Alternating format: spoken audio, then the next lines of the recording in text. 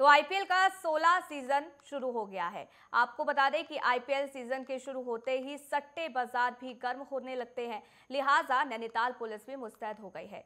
Haldwani police क्षेत्राधिकारी भूपेंद्र सिंह धोनी ने ये बताया है कि ऑफलाइन और ऑनलाइन आईपीएल सट्टा लगाने वालों की जानकारी जुटाई जा रही है।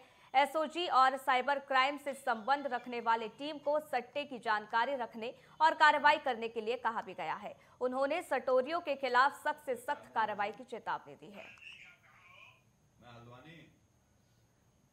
तो आपको बता दें कि आईपीएल की शुरुआत हो गई है और ऐसे में सट्टे का बाज़ार भी गर्म हो गया है। सटोरियों के खिलाफ पुलिस पूरी तरीके से मुस्तैद है और उस पर पूरी तरीके से नज़र बनाए हुए हैं। नैनीताल पुलिस ने चेतावनी भी इस दौरान जारी कर दी है और ये कहा है कि सट्टा लगाने वालों पर सख्त कार्रवाई होगी।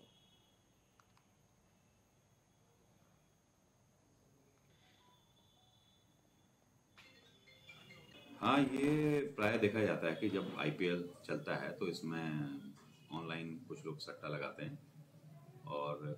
इस तरह के अराजक तत्व तो सक्रिय हो जाते हैं जो सट्टा लगवा करके जो सीधे साधे लोग हैं उन लोगों का पैसा खर्च करवा देते हैं ख़त्म करवा देते हैं। तो इन परिस्थितियों को देख देखते हुए हमारी एस टीम और जो हमारी साइबर टीम है ये अपना ऑनलाइन और जो भी हमारा सर्विलांस का तरीका है उस तरीके से इसको देख रही है।